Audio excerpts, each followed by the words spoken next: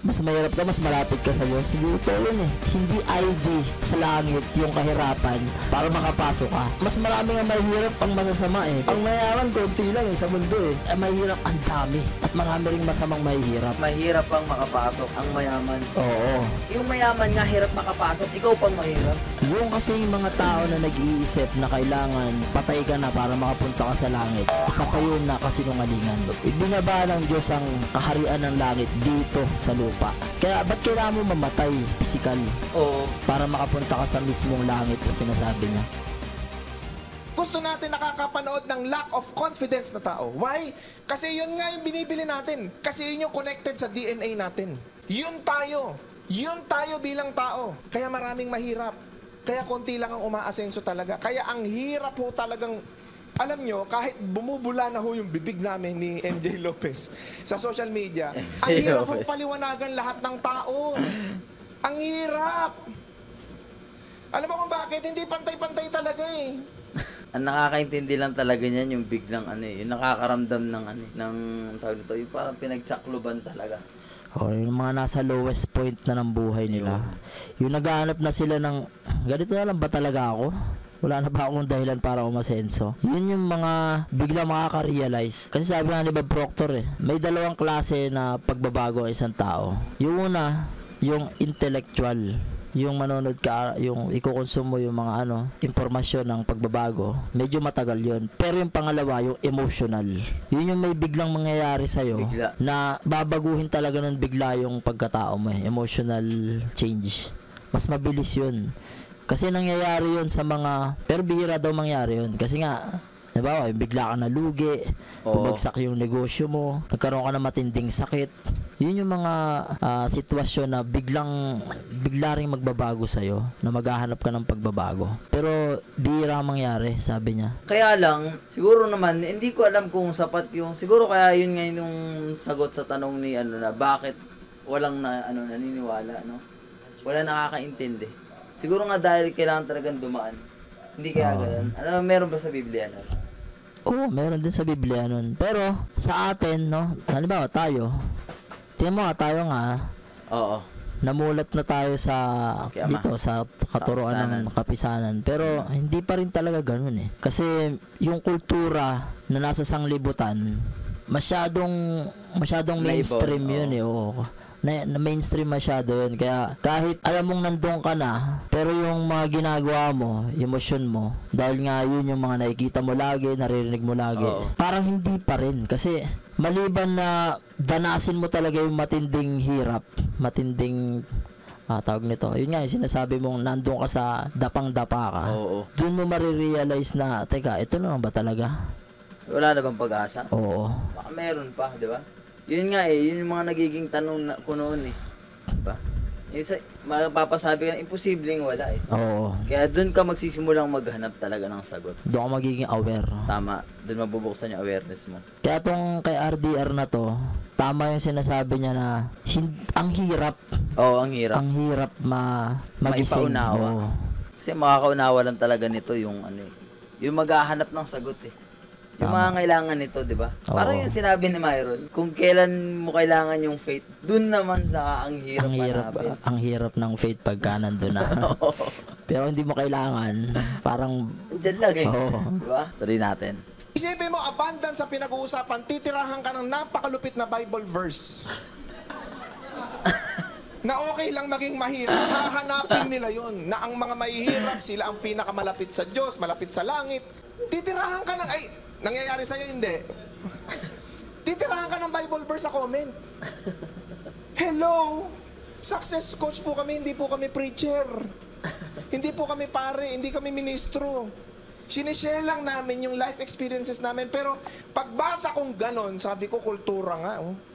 Iba yung mold eh. Kasi tinuro na maging slaves, tinuro na okay lang mahirap, tinuro na okay lang, kasi alam mo, the more na mas mahirap ka, mas malapit ka sa Diyos eh. Yun yun Grabe, eh. The no? more na mas mahirap ka, mas malaki ang oportunidad mong mapunta sa langit. Aba, teka lang muna. Gusto ko pa munang man- mam- mamuhay sa earth. Ayun, Huwag eh, di ba may mga sinasabi dyan, gusto mo mapunta sa langit pero ayaw mo mamatay. Yun. Ano ba, mara, tanongin mo lahat ng mahirap. No? Gusto mo ba mapunta sa langit? kung ganyan ang ano nila, ganyan ang Katwiran. prinsipyo nila na pag mas mahirap ka, mas malapit ka sa Diyos. Eh paano pala si Santong Abraham? Oo. Si Santong Abraham hindi lang mayaman eh. Sobrang yaman. Ibig sabihin, ang layo niya pala sa Diyos, di ba? Oo. Maraming mga lingkod ng Diyos na sobrang yayaman eh. Nung, lalo na kung- nung sumunod sila, lalo pa silang dinagdagan ng sobrang daming yaman. Pero itong tinatawag na RDR, talagang na-realize niya na kultura yung mga nagsasalita nun eh. Oo, hindi naman nakasulat sa. Biblia yun eh. Oo. Wala, walang gano'n na mas mahirap ka, mas malapit ka sa Diyos. Hindi totoo yun eh. Oo. Tsaka, para makapasok ka, kailangan mahirap ka. Eh, paano magnanakaw ka? Paano kung paki, pa, mapakiapid ka, mahirap ka? Ibig sabihin, dahil mahirap ka lang, pasok ka. Hindi totoo yun. Tama. Di ba? Hindi ID sa langit yung kahirapan para makapasok ka. Di ba? Wala, walang Ay, ganun. Kasi ma- mas marami nga mahirap ang masasama eh, di ba? Sobra. Grabe. Ang mayaman, konti lang eh, sa mundo eh. Ang mahirap, ang dami. At marami ring masamang mahihirap. Eh, nakasulat pa sa Biblia, mapupunta sa impyerno, ikatlong bahagi. Ikatlong bahagi. Ibig sabihin, maraming mahirap na mapupunta sa impyerno. Kaya hanggat di nagbabago yung mindset mo na kailangan mahirap ka para makapasok ka sa langit, bali yun. Tama. Eh, binabasihan lang naman nila eh, yung mga ganyan, yung hindi makapasok sa kaharian. Hihi, mahirap pang makapasok ang mayaman. Oo. Yung mayaman nga hirap makapasok, ikaw pang mahirap. Ano mahirapan kang makapasok, di ba? Kasi yung mayaman, puro abundance na yun eh. Ang mindset nun talagang, ito ah, ito, Diba? isipin mo na lang.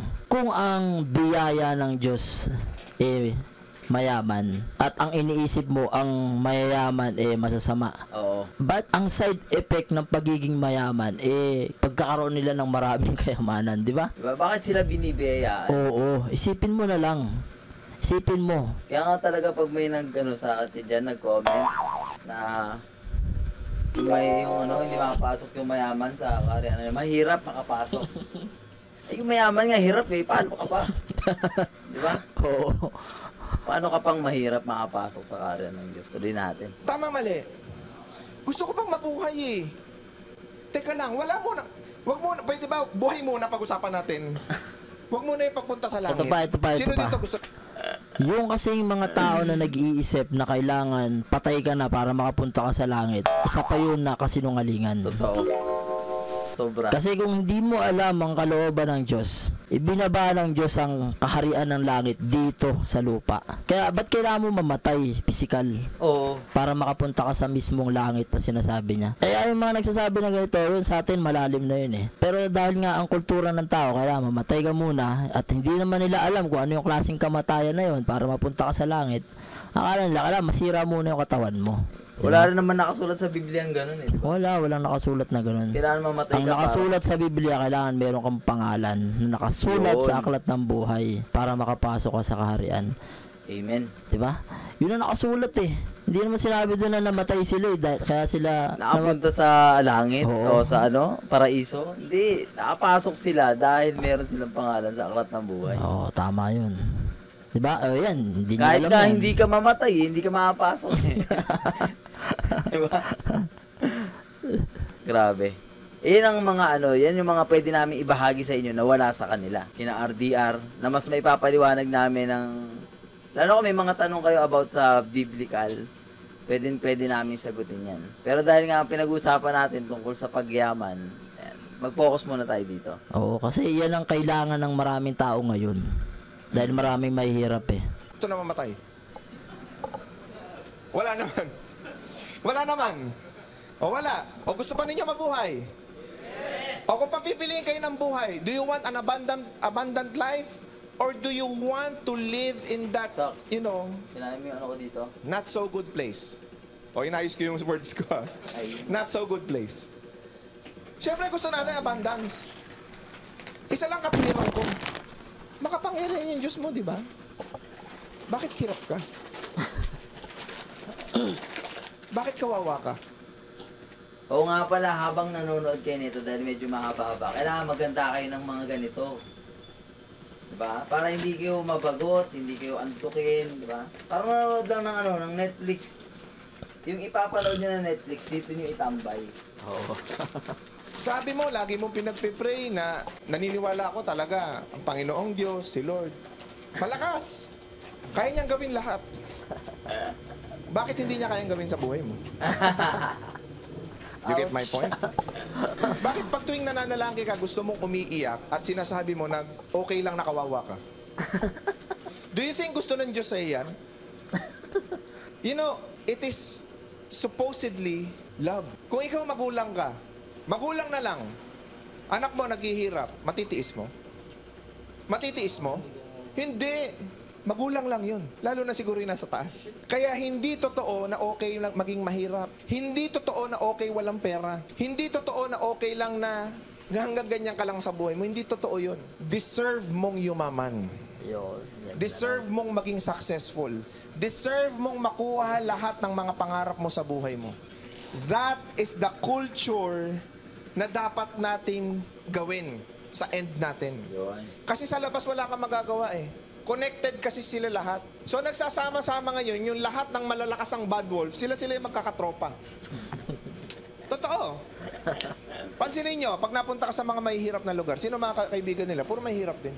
Pag napunta ka sa lugar ng mga mayaman, try to go to ano, um, Forbes Park. Several times I've been there. Mga Chinese, mga business owners, mga CEOs, mga founders. Pag nandun ako, sobrang rich nung lugar. Ang pinag-uusapan nila, pare, regaluhan natin si ganito, 60 million. Regalo. Sana all. Sabi ko. Regalo yun, ah. Pag ganun sila mag-usap, ganun sila magregaluhan. Ang regalo ho nila hindi simple. Sa mahihirap, ordinaryong pansit, nagse-celebrate na yung pamilya. I mean, that is good. Kasi yun lang yung nasa capacity natin. Pero what I'm talking about is pag pumunta ka doon sa mayayaman, mawiwirduhan ka sa kanila. Parang hindi sila sa earth nakatira. Yun yung unang naramdaman ko talaga doon. Kasi pag nag-usap sila, pare, I like your watch. You have a very nice watch. How much is that? 14 million. Okay, I'll buy tomorrow. Ganon. Ganon sila mag-usap. Okay, I'll buy tomorrow. Sana all. Sabi kong ganon. Ganon ang usapan nila. I mean, nawiwirduhan ako sa una, pero I get used to it. Eh, kasi nga mayaman sila eh. Tama mali. You know, I bought this property in Green Hills. It's no, it's so nice. How much per square meter? 500,000 per square, square meter. So cheap. 500,000 per square meter. 1,000 square meter yung binili. So cheap. Sino ka ba? ano na nangyari sa'yo? Bakit bandain mong pera? Ganon sila mag-usap eh. Pag pumunta ka doon sa mga mahihirap na lugar, ano kwentuhan? Pare, baka meron kang limandaan dyan.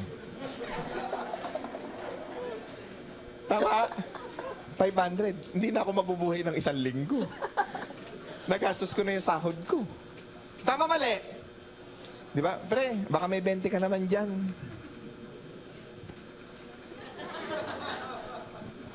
Bili ka coke. Tama mali? Yun ang kwentuhan, yun ang kwentuhan ng mga taong deprived. Hindi nila kasalanan yun kasi hindi naman sila nabigyan ng tamang knowledge or wisdom on how they can actually be better in life. Yun lang talaga sila eh. Kaya ngayon kami, nagsisigaw kami, tapansin ninyo, dami ng comment dyan, dami ng bashers dyan. Di totoo yan! RDR, di totoo yan. Eh, ba't ka pa nanonood? Kontra ka ng kontra dyan. Tama mali. Bakit ka pa nanonood? Gustong gusto mo ako pinapanood, pero babas mo rin ako. Di wag ka na manood. Kultura natin guys, oh. Kasi connected eh. Connected talaga. Kaya ang hirap umasenso eh. Yun yung kultura natin. Now, ibe-breakdown natin. Napunta ngayon dun sa society. So, society ngayon, connected lahat ngayon dito. Tama mali. Tama mali. So, what people would tell you is what? Mahirap yumaman. Mahirap maging successful. Ang bida, ang, ang bida is mayaman. Ay, ang bida is mahirap. Ang kontrabida is mayaman. Ito na ngayon. Nandito na ngayon tayo sa society. Society. Yedad. Okay? Yung society natin, Englishin ko na nga lang, hirap ng society eh. Yung society natin ngayon, it is what? That includes everyone. Even politician, even big people, kasama sila dyan. Kasama sila sa na, na, na mold dyan. Kaya, yung society natin ngayon, it is what we call, alam mo kung ano ginagawa usually? Especially ng media. You know what media always, kaya nga sobrang thankful kami nagkaroon ng social media eh. Kasi ang media ang ginagawa sa atin, you know what? sa society? This thing, poverty for- porn. Bakit? Pinapakain nila yung bad wolf natin para lumaki. Poverty for porn. Ano nilalabas sa news? Puro negative things. Kasi yun yung interest mo eh. So pinapalaki nila yung bad wolf mo. Very seldom na makakapanood kayo ng balita, ng news na galing sa media na pagyaman ng pag-uusapan. Very seldom. Very few. Ito ngayon ginagawa sa atin, lagi tayo pinapakain. Isipin mo, ang dami nagko-comment sa akin, sana natupad daw yung 10,000 ni Cayetano. Ano pakialam ko naman doon? Idol MJ, sa'yo rin? Idol MJ, sa'yo din yung 10,000 ni Cayetano sa'yo hinahanap? Sa akin hinahanap eh, ano malay ko dyan?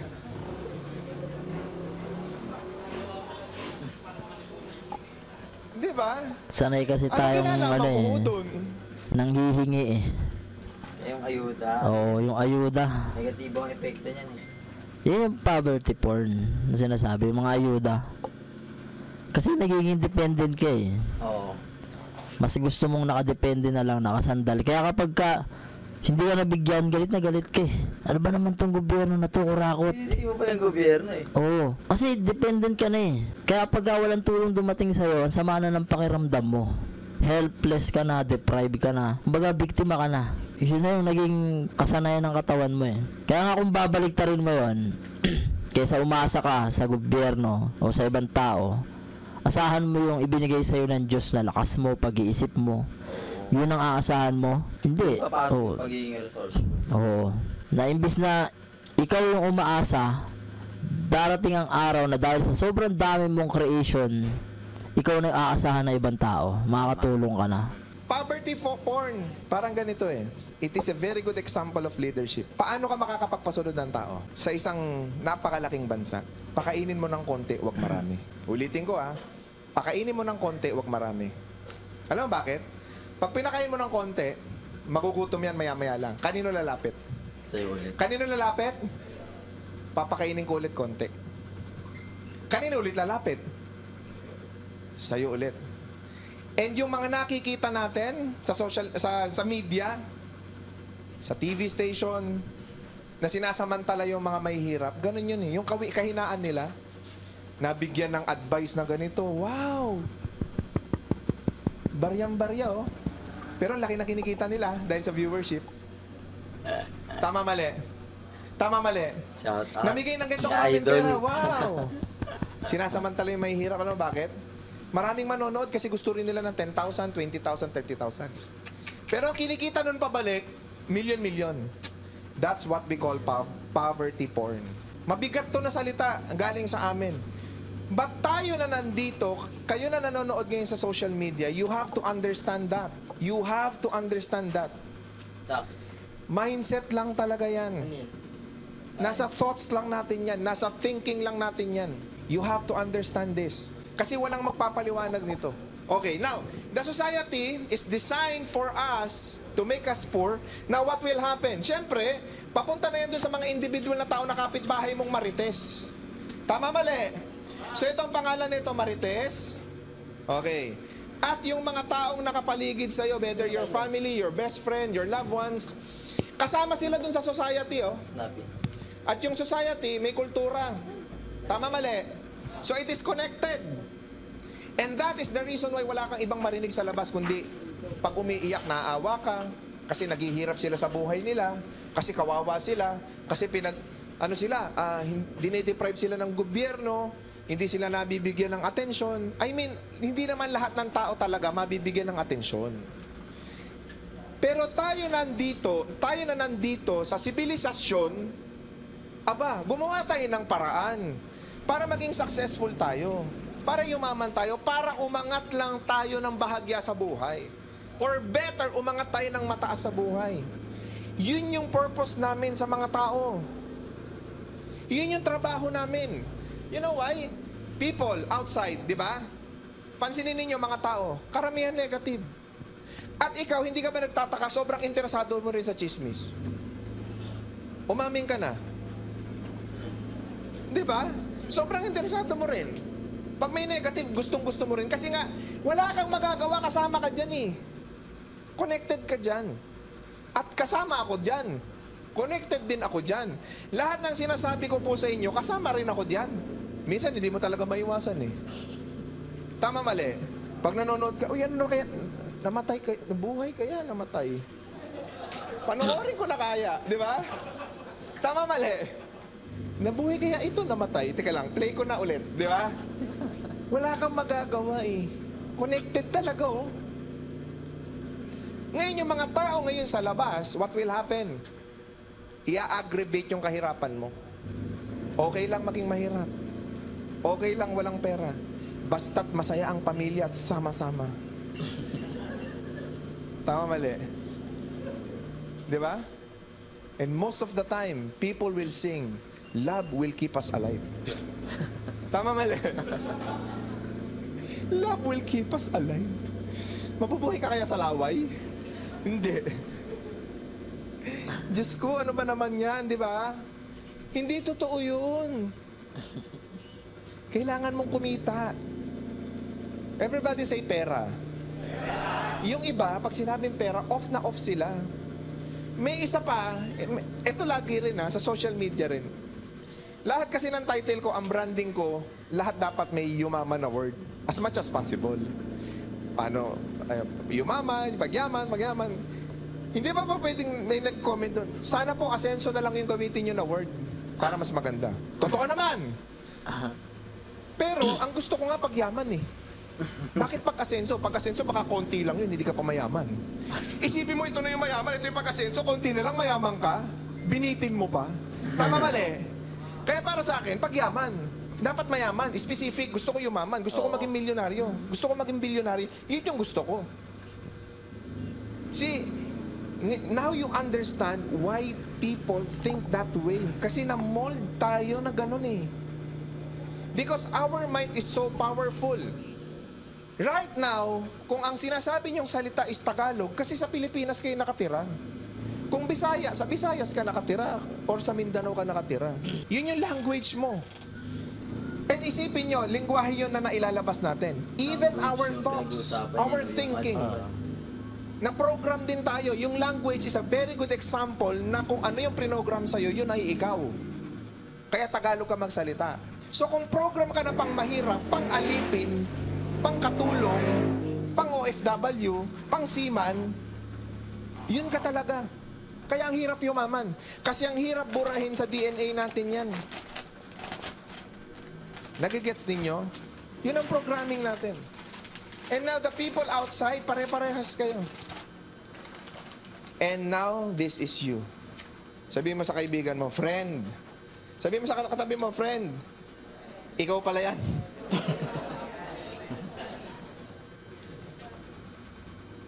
That is you. Ikaw na, oh. Oo nga, no? Kasama pala ako dyan. Yes. Kasama ka sa BTS. Tama. Kasama ka dito. Ngayon, ano mangyayari, sir? Oo nga, busog na busog to. Ngayon na-realize mo, oo nga, sobrang laki nga nito.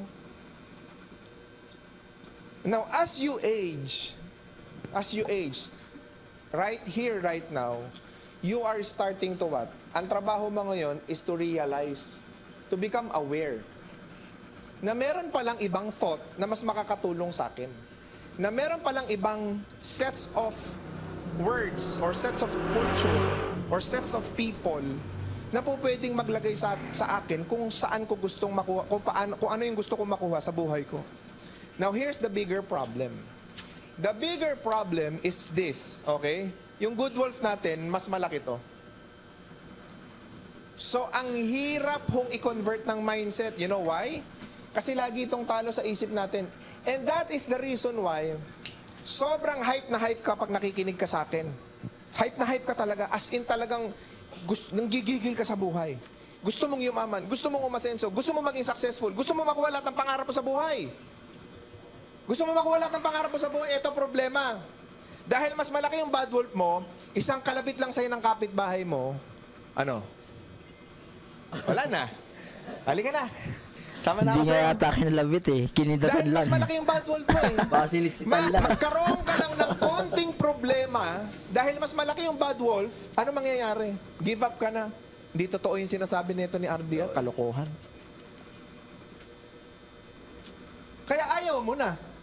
Tama mali. Kaya pag nagkaroon ka ng maliit na challenges, feeling mo kagad, deprived ka. Feeling mo kagad, ins- insecure ka kagad sa ibang tao. You know why? Kasi nga mas malaki lagi yung bad wolf mo. So it is the constant application of the good things, of the positive things for you to actually Yan, tama dyan. what? Ngayon sinasabi niya dyan yung ano, yung pagka merong negatibong bagay na tumawag sa'yo, sumusunod ka agad. Kahit, kahit alam mo na, may awareness ka na, na tinatawag ka na na, hindi, wag, wag mo na ituloy yan. Dahil naririnig mo na yung mga ganitong klase ng impormasyon. Ngayon, pagka bumalik ka sa, halimbawa, pinatay mo na yung pinanonood mo, meron at meron dyan na magtatawag sa'yo. Kahit hindi naman kapitbahay eh. Minsan, mga pamilya mo pa nga eh. Na, yun nga, eh, tinutukoy ni RDR na bad wolf. Bad wolf. Tatawagin ka niyan eh.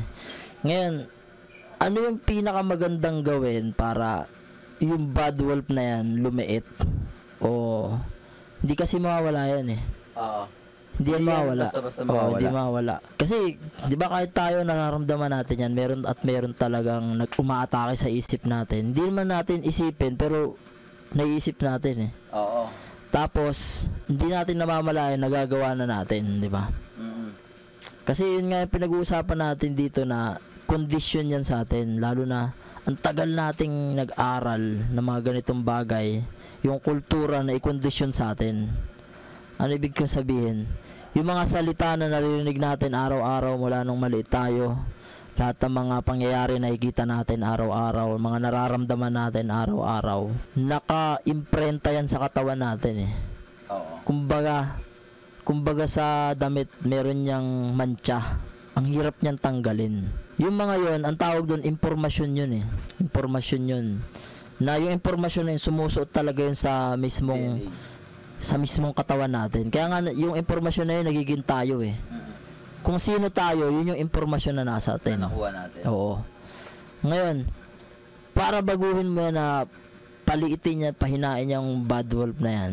Ang gawin mo lang naman, kailangan mong i-align yung mga pinapanood mo, mga pinakikinggan mo, sa mga bagay na makapagsisilbi sa'yo ng mas maganda at saka ikayayaman mo.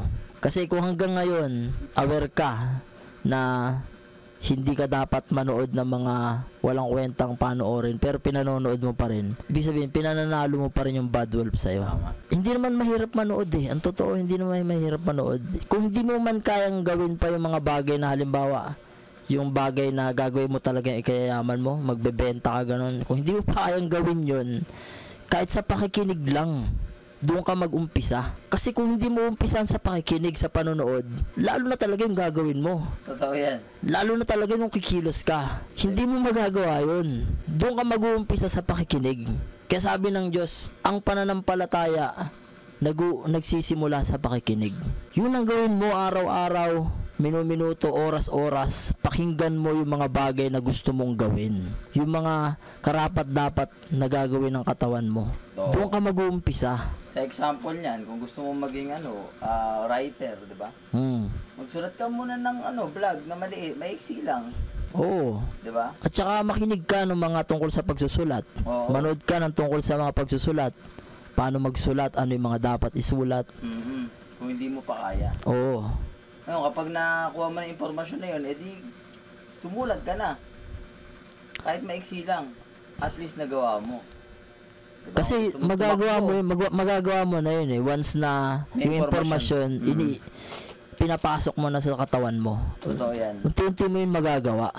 Pero dahil nga hindi mo pa nagagawa ngayon, hindi mo siya kayang gawin dahil natatalo ka, may impormasyon pa dyan na dapat mong tanggalin. Yes. Kaya nga, ang i- inare-recommend namin, makinig ka, manood ka ng mga bagay na na mas ikasisilbi ng katawan mo. Tawag ko nga dyan sa mga ganyan yung ano, yung yung bad wolf. Ano, self-sabotage yung ano niyan eh. Oo. yung habits niyan eh. Kasi unang-una, akala mo okay eh. Akala mo maganda eh. Pero in the long run, in the long term, sinasabotahe mo yung sarili mo. Yung sarili mo, sinasaktan mo. Sinasakripisyo mo yung sarili mong success. Sa ngayon, masarap yan. Oo. Ngayon, nasasabi namin to kasi galing na kami dyan eh. Galing na kami dyan.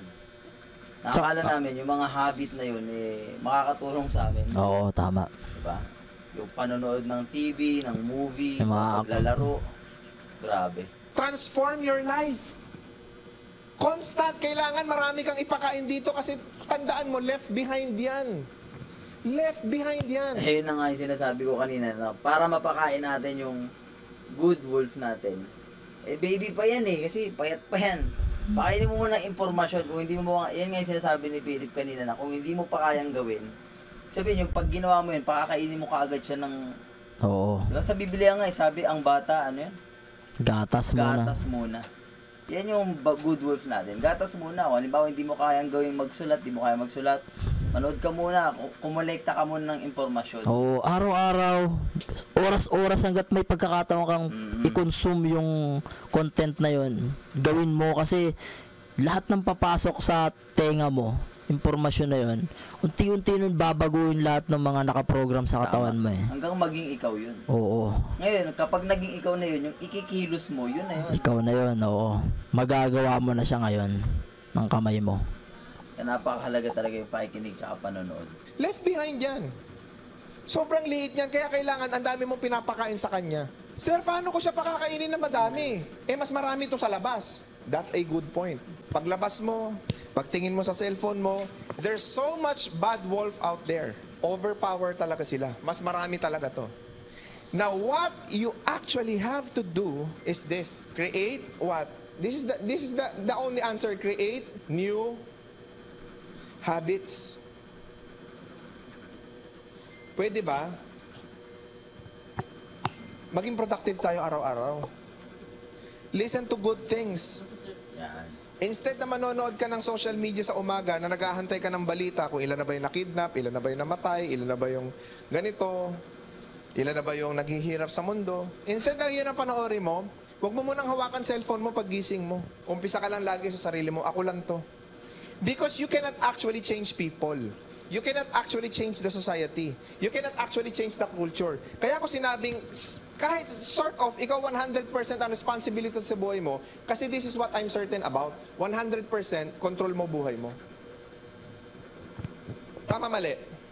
So dahil control mo buhay mo, ikaw ang magmaneho ngayon. Matagal mo nang pinamaneho sa kanila eh, wala nangyari. This time around, kunin mo yung accountability. Kunin mo yung manibela. Ikaw mag-drive. Dito ko dadalhin ang buhay ko. I promise myself that I will be productive every day. I promise myself that I will think positively every day. I promise myself that I will mingle with right people na pwedeng makatulong sa akin for me to become successful in life. I promise today that I will be productive every day. Na wala akong sasayangin na oras, wala akong sasayangin na moment, wala akong sasayangin na opportunity. Magtatrabaho ako. Normal na magkakaproblema. Normal na magkakaroon ng mga challenges. Pero focus ako dito sa direksyon ko sa buhay ko. Gusto kong umasenso, gusto ko yumaman. Gusto ko makuha lahat ng mga pangarap ko sa buhay ko. Dito ako. Huwag ka lilingon dito. Huwag ka nang babalik. Pakainin mo ng marami yung good wolf mo sa buhay mo. Feed mo, magmadali ka. Kasi marami sa atin dito may edad na. Marami sa atin dito kulang na yung oras. Maiksi na lang ang buhay natin. Sayahan natin. Sarapan natin. Kunin natin lahat ng gusto natin makuha sa buhay natin. So that we can provide to other people. That's the purpose. Because at the end of the day, if you have many things in your life, you have some things to other people. You can provide, you can give. You can add value. Tama. So kailangan ma- kailangan gawin na natin ngayon yan. Kailangan pakainin mo to na marami. Feed your mind. Create new ha- new habits. Pagkagising mo, wala na muna ng cellphone. Isip ka muna ng mga bagay na gusto mong makuha sa buhay mo. And buong araw, lista mo lahat ng gagawin mo. Be productive. And always remember that if that's the case, kung yan ang pinapakain nyo sa, sa buhay nyo, yung good wolf ninyo, lagi kayong good mood. Hindi kayo lalayasan ng tao nyo basta-basta. Hindi kayo parang pinagtampuhan ng bigas pagkagising nyo pa lang. Nakikit niyo yung point ko? Sobrang maganda yung aura mo. Sobrang masisiyahin ka. Sobrang maligaya ka na. You know why? Kasi alam mo, ito na yung pinapakain ko sa buhay ko. Yung other self ko, okay ka na, busog na busog ka na, kotang-kota ka na eh. Feed your other self. Mag-umpisa ka ulit sa buhay mo. Ngayon, kung nandun ka na, nasa process ka na, na ito na yung pinapakain mo, nasa proseso ka na na ito na, ito na, ito na yung mas pinifeed mo. Kung nasa proseso ka na, good job. But always remember that you have to be consistent. Hindi po pwedeng pag may problema, ayoko na, dito na tayo ulit. Nagiget mo yung point ko? Na konting challenges lang, ay, di, dito na ako ulit. Na konting pagsubok, ay, dito na ako ulit. Hindi. Consistent Kaya ka lang dito. kasi malit, mahina pa nga eh. Kasi Pero ang tao, hindi malakas na, malaki na. Kahit anong challenges eh. Hindi babalik yan dyan eh. Alam niya na yung challenges na yun, lalong magpapakain yun dun sa good wolf mo eh. Yung challenges na yun, yun ang magiging pagkain niya para lalong mas maging magaling ka, mas lalong maging mabuti ka sa mga ginagawa mo. So, kung yung challenges, ano lang yun, speed bump. Oo, tapos na yun dyan eh sa ano. Bumps lang yun eh. Oo. Pero dapat, hindi yan, ano, maging route. Hindi yan maging para route. bumalik. Oo. so, yan, ang dami nating natutunan, mga brothers. Grabe. Oo. Napakaganda ng ano ng video na to kasi unang-una Tagalog, Tagalog. 'di ba? Mahihimay talaga natin ang gusto. Wala ka ng dahilan para sabihin mo, English kasi kaya hindi ako nanonood eh. Yan yung Tagalog. Kaya namin naman nire-reactionan yung mga English. Yun nga, sabi namin kanina, specific na negosyo kasi ang lengguwahe ng, ah, ng English. Ngayon yung may sinabi dyan si RDR na ano, create new habits. Sa Biblia ang tawag doon, bagong pagkatao yun eh. Yun. Yung habit kasi pagkatao talaga yun. Isang isang set yun ng mga kinagawian na bumubuo sa isang pagkatao. Yun lang yung salita, new habit. Pero ang talagang, Sa Biblia, oo, bagong pagkatao. bagong pagkatao yun. Kung maunawaan natin ang gusto kong kasulatan, no? Para mabago natin kung ano man yung buhay natin ngayon, kung ano man yung nangyayari sa atin ngayon, kung ano man yung resulta natin ngayon, lahat yun dahil sa pagkatao natin, kung sino tayo. Kaya kung gusto mong baguhin yung resulta mo, ang unang babaguhin mo pagkatao. Ito yan. Sabi nga ni Dr. Joe eh, Dispensa, your personality creates your personal reality. Kung ano yung personalidad mo, yun ka. Yun yung realidad mo. Kaya kung ang personalidad mo eh feeling victim ka, yun yung realidad Magiging mo. realidad mo. Magiging biktima ka rin. Pero kung ang personal reality mo, ikaw yung ginawa ng Diyos na kayang lumikha rin ng mga bagay na matitindi, yun din yung magagawa mo. Oo. Bigyan ko lang sila ng tip paano nila magsusustain yung ano, yung yung habit Ah, na sige. tuloy Ang ginagawa ko para mas maano ko yung sarili ko, naliligo ako dalawang beses hanggang tatlong beses ang araw. Isa yon sa ano sa mga napapansin ko para mas masustain ko. Kasi pakiramdaman nyo no, kapag bagong ligo kayo, ang isip nyo hindi ano eh, hindi procrastinated eh. Oo. katawan nyo eh. Ngayon, samantalahin nyo habang yung katawan nyo ganado, samantalahin nyo gumawa ng habit na maganda. Tama. Di ba? Kaya kung papansin mo kanina eh, di ba? Kasi si Philip yan, bago pag pumupunta yan dito, inaabutan niya ako nagsiselfone Oo. bago kayo mag-podcast. Eh ngayon, dalawang beses ko nang ginawa. Nung nakaraang linggo kasi hindi kami nakapag-tape dahil nga may inedit ako noon.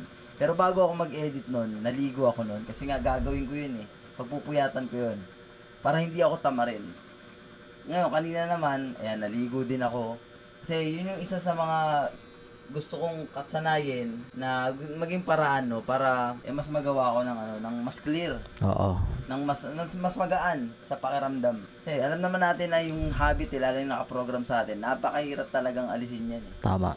Pero kung meron tayong gagawin ah, external sa katawan natin, no, physically, yun nga, kagaya ng paliligo. Ano yun eh, ibang pakiramdam, napakagandang samantalahin yung pakiramdam na yun. Oo, tama yan. Tsaka yung, yun nga, yung sinabi mo, no? Dugtungan ko lang. meron yung natutunan natin kay Bob Proctor na kung gusto mong magbago yung buhay mo, magbago yung habit mo, Oo. pumili ka lang ng isa, isang magandang habit. Yun. Tapos gawin mo yun palagi. Palagi. Kasi yung isang habit na yun, dadamayan niya lahat ng habit mo. Totoo. Yun yung ano, yun isang natutunan kong matindi dun sa sinabi ni Bob Proctor. Nasa Biblia yun. Kasi tayo, konektado tayo lahat eh. Kung gusto mong baguhin yung pamilya mo, mag-umpisa ka, magbago ka. Tingnan mo, Sarili mo. kahit nakikita mong hindi maganda yung ginagawa ng mga kapatid mo, mga nanay mo, ikaw muna, subukan mo magbago. Pag Madadamay nai- sila Oo, lahat eh. Tataka yun eh. So, ba't, ba't ganito na tong ano? Hanggang sa unti-unti madadama yun. Ngayon ikaw, dahil yun ang realidad mo, makikita mo rin yun sa kanila. Na, oh, nagbago rin tong mga, itong nasa paligid ko. Kasi yun yung perspective mo eh. Ano man yung nasa loob mo na, na i-create mo, kapag ka binago mo yun, o kaya naman, in-express mo yung tawag na mula sa loob papalabas, Oo. makikita mo yun eh. Kaya kahit ang pangit nung nangyayari sa pamilya mo, pero yung nasa isip mo maganda, iba yung tingin mo eh. Na ang tingin mo doon, oh, problema nga yun. Pero alam mo na yung problema na yun, eh magiging solusyon yun para mag-level up ka. Oo. Para mas maging ma-challenge ka. Yun yung ibig sabihin ni brother na kung gusto mong maging magbago sa'yo, kahit isa lang baguhin Isang mo habit. muna. Tapos Hindi araw-arawin mo mo naman yun. kailangan lahatin eh. Oo. Hindi mo kailangan lahatin. Kasi nga, nakakahawa yun eh, yung habit Galing na yun. nga, galing Nakakahawa. ganong konsepto. Yung masama nga eh, nakakahawa eh. Oo, tama. Diba? Na yung mabuti, nakakahawa Ganun din yun. yung mabuti, nakakahawa. Yun ang nakalimutan ng tao eh. Tama. Totoo yan. Na akala nila, porque nakakahawa, masama. Di ba? Kaya nga sabi, ay nakakahawa, sakit yan. E paano kung hindi sakit? Kung paggaling. Oo. Kaya yung kay Dr. Joe Dispenza, yung sinasabi niyang research na na, na na-realize nila na kung paano ang sakit Nakakahawa. parang virus na nakakahawa. Ganun din yung kagalingan. Tama ka dyan. Nakakahawa din. Kaya nga meron sila mga workshop na marami sila. Nagtitipon-tipon. Nagtitipon-tipon sila. Totoo yan. Nahahawa yung mga nandoon eh, na mga, may mga sakit. Nahahawa dun sa mga paggaling ng iba. Yun. Kasi yung enerhiya natin kapag inirelease mo yan, lak tumat oh, eh. tumatama yan sa ibang ano, sa ibang enerhiya din. Na kung yung enerhiya na yon masama, tatanggalin niya yun, mapapalitan niya ng mas Grabe, mabuti. no? Nilabutan ako. Ganitong ganito rin yun eh, yung sinasabi ni RDR, yung sinasabi ni Bob Proctor, nila Myron, ganito yun. Kaya kung isipin mo, kung may awareness ka na, no, ang ganda pag-aralan ng ano eh, ng buhay. Oo, yung buhay. Mm, komplikado paano- siya, pero paano napakaganda. tumatakbo talaga ng gusto. Oo. Kaya ano, oh, so yan mga brothers, grabe. Hindi ko pa rin talaga maano, ma... Nag, nagsisingin pa unti-unti, ang sarap eh. oo.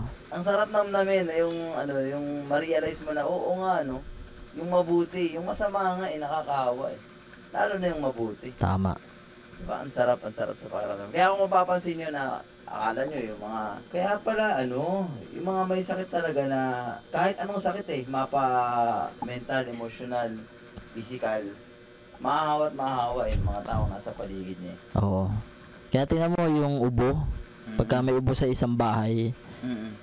nagkakaubo lahat. Kasi nakakahawa nga talaga yun. Pero kung hindi ka naniniwala dun sa mas malalim yung paniniwala mo na yung ubo na yun hindi nakakahawa, hindi ka rin mahawa. Mas malalim yung paniniwala mo na ikaw walang sakit, hawakan Oo. mo siya. Dapat na mawala yung sakit niya. na mawala yung ubo niya. Oo, yung sakit niya. Ganun, ganun, nagla, ganun ang buhay, ganun naglalaro ang buhay. Diba? Oo. Kaya nga kung yung good wolf mo, payat pa ngayon, mahina pa, Yan, dumikit ka dun sa mga may malalaki ng good wolf. tama. Kasi pakakainin nila yung good wolf mo, palalakasin nila yon. Ano yun, yung mga kinukonsum mo, kagaya ng pinanonood mo, pinakikinggan mo, hanggang sa maging habit mo na siya. Yun, Grabe. kaya, So, yun, marami marami pa tayong aabangan sa mga susunod na Oo, ano, marami na pa tayong pag-uusapan. Grabe. Hanggang dito na lang muli, sa muli, mga brothers. Ayan, baka meron kang gustong batiin. Binabati na lang natin yung ating mga members na hanggang ngayon, eh, hindi pa Oo bumibitaw. Salamat. Sila Ate Hazel, sila, sino to? Si Ate Hazel Thornhill pala, no? Diyan, tinan mo dyan sa ano mo. Uy, shoutout natin yung mga members. Wait lang, sandali. Ay, may pito. Ayan, uy, shoutout sa aming ano, pitong na magigiting na mga members. Ayan, uy, shoutout po kay ano, Healthy Minds. Ayan, thank you so much po. Si Donna May De Leon. Hindi, hindi si Donna May. Parang si Donna May. Negosyante yan eh. Ay, oo, yung nag-aano ng mga frozen. Oo, siya. Siya, oo. Grabe, mayaman to. Mayaman yan. Uy, shoutout kay Chulot. Namimiss ko to si Chulot. Shoutout Chulot ah. Ano to eh? Ah, live streamer. Sa, nakalimutan ko anong apps Facebook? yun. Ayan, shoutout sa'yo, Chulot. 3 months. Ay, Ayan, si, si uh, Ma'am It's Unsharp, shoutout sa'yo, Miss Idol. Kailan yan? 15? 15 months ago. Tagal na yan. Grabe. Si Uy, Stray si Cat. Stray Cat, kilala mo ba to? Oo. Ayan, shoutout sa, ano namin, ah, pinakamamahal na kapatid. Sa Japan. Oo, nasa Japan. At saka kay Ate Hazel Cernhil, shout out Ate Hazel. Thank you to, thank you, thank you so much. Grabe. Ano yan? 30 38. months. Tatatlong taon na. Hindi, noon. tatlong taon na. Mula noon. ah. Grabe, thank you so much Ate Hazel ha. Ayan, salamat sa pagpapakain sa aming Good Wolf. At saka si Love, ay, Ate, Ano ba yung dati niyang ano? Ate channel? Marie Paul and Nigel Mar. Ayan, siya, Iba shout kay ano Ate Marie Love Paul. Marie Oo, Love Marie na. in Love Mary. California. In California, oo. Yan yung mga member namin. Mga member namin Alam mo ba? Ano, inaano ko na minamanifest ko yung makapunta tayo dyan. Kina ate, hey, kina ano, Ma'am Phil, um, mangyari yan. Basta, hindi mo na namin sasabihin. Basta iniisip lang namin. Inisip namin na mangyayari yan. Oo. Kasi ako gusto ko mag-podcast sa iba-ibang lugar eh, no? Oo, Makapag-podcast tayo sa iba-ibang bansa. No, sarap siguro Sarap. nun, ano? Tapos Ba- live. Oo, Ito kahit kasi live. practice lang namin to eh. Kapag nagmamanifest ka kasi guys, Yun, pag may gusto kang gusto kang tawag nito, makuha. makuha. Kailangan i-practice mo muna sa Yun. isip mo. Mm. Itong sa amin, practice lang to. practice Yung lang. ginagawa namin sa channel ngayon, pinapractice namin. Para Kasi- pagdating nung araw na yun, expert na kami doon. Oo. So yun mga brothers, maraming maraming salamat hanggang sa muli. Ayan, maraming salamat at umabot ka sa video na to. Ngayon kung ah, ngayon nyo pa lang kami nakita, kami nga pala ang Brotherhoods at pwede nyo balikan yung mga video namin na mas marami pa kayong matututunan. Ah, it's either financial, mental health, ah, ano pa ba, spiritual, no? At ah, kung may mga tanong kayo, pwede nyo rin i-comment dyan. So yun, maraming maraming salamat. Hanggang dito na lang. Adios.